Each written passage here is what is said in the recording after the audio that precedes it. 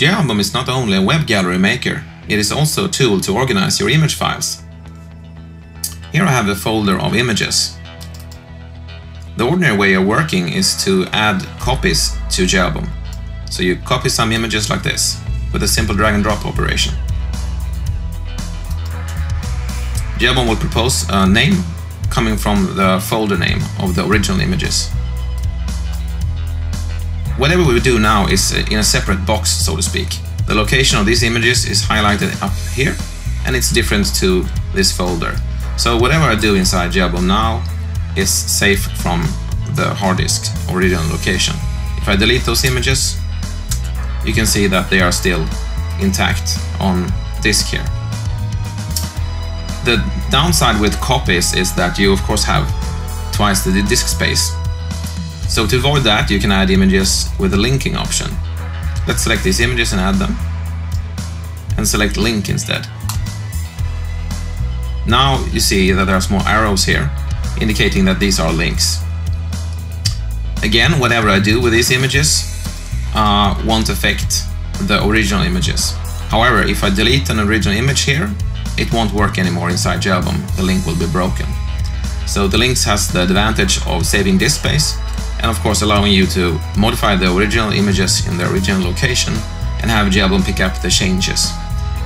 Uh, and uh, the downside is of course that if you move links uh, or move original images around, the links will be broken. But whatever you do inside jAlbum here is local to jAlbum. So if I relocate these uh, images, it doesn't affect the origi original images. There's also a third way of working, which uh, is very convenient to organize existing images on disk.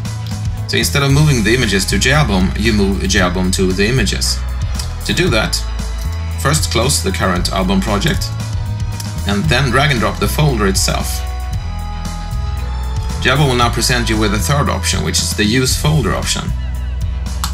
Using it, you see that the address here now reflects the original image location.